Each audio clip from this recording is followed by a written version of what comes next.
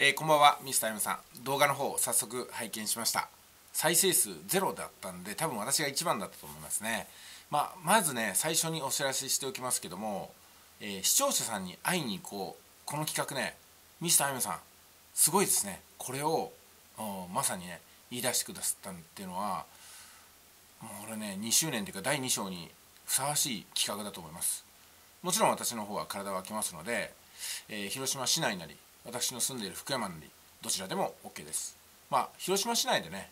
篠木君と、まあ、焼肉一杯っていうのもなかなかおつなもんだと思いますけども泊まり込みでミスター M さんがいらっしゃるようでしたらね、うん、私はちょっと泊まりは難しいんですけどもそのように手配させていただこうかと思います。いや楽しみですね。本当に。よろしくお願いします。えそしてですね例のホームレス対談こちらの方も用意されてるみたいなんで私としては非常にね楽しみにしてます。こちらの方も。盛りだくさんな年末になりそうですね。そしてですねビジネスと精神ですけども私はこういうふうに考えてるんですよ。あのビジネスいわゆるお金稼ぎですよね。これってみんなが良くなることだと思うんですよ。まあビジネスをして商品やサービスを販売する。そしてお金を払った人ってその受け取った商品やサービスでお金をただ持ってる時以上に豊かになり幸せになり問題解決してくれると思うんですよ。私の財布の中に例えばね1万円札が1枚あるとします。10日経ってもその1万円札を使わなければずっと1万円札のまま何も変わらないんですよ。でも1万円のサービスを買うことによって1万円が財布からなくなっても1万円のサービスっていうのはその瞬間私の肉体となり精神となり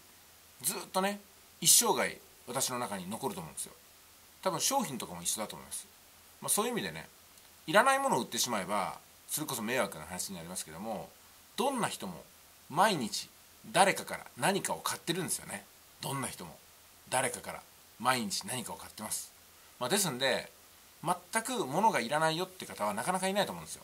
まあ、ですんでね何を必要としてるのかっていうことを深い洞察力で一人一人の方にこう向き合っていくことがビジネスの真髄精神の真髄なのかなと思います、えそしてですねえー、まあ、精神も技術のうちっていうのはまさに私もそう思います。私はねこのモチベーションを無視して行動することができる数少ない人間なんじゃないかなと思うんですけどもそうは言ってもですねやっぱり自分自身に対して励ましということをやることがあります。何かね美味しいものを食べてやる気になるとかね一眠りしてやる気になるとかね大きな声で歌ってやる気になるとかね自分で自分に火をつけるそんなスイッチをいくつも作ってきました。ですんで誰かに言われないとできないとか誰かに嫌なこと言われたからやる気がなくなるっていうのはもうないんですよね、うん、ただやっぱり自分の内側に自ら火をつけていく。自分自身にゴーサインを出していく。まあこういうふうに考えています。そしてミスター M さんはそれができる人だと思うんですよ。そしてやり続けた人なんだろうなと思います、まあ、ですんでね第2章に入りましてガチンコマッチクラブ。そしてビジネス対談あ視聴者さんに会いに行こう。こういったね企画を打ち立ててそのうちの全てがうまくいくかどうか分かりませんけどもでもね100企画を立てた中で1つでも2つでも実現できればそれは大きな前進だと思います。私たちはどんな計画をするにしても100発100中ではありません。どんな挑戦をするにしても100発100中ではないんですよ。本当にね100個やるうちの1個2個当たればいいかなっていう感覚です、うん、ということはですね確実に成功すると思って行動することっていうのは実は私でさえ少ないんですよ。ダメかもしれないけどやってみる。これ私のね真髄なんですよ。ダメかもしれないけどやってみると。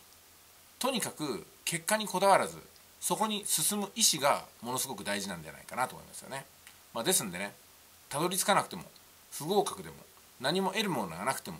私はその行動ですよね。そこに向かおうとして掴もうとしたその行動自身が宝なんじゃないかなと思います。思えば私は自分の人生で何かを目指してうまくいったことは少ない方だと思います。でも全ての行動に後悔ばかりか感謝すら覚えますね。よく俺の体やってくれた。よく俺の精神そこへ向かってくれた。掴むものはなかったけども何か大きなものを掴んだぞというね。こんな感じですよね。ミスター M さんならわかると思います。それではね今回の動画は以上でございます。これからもよろしくお願いします。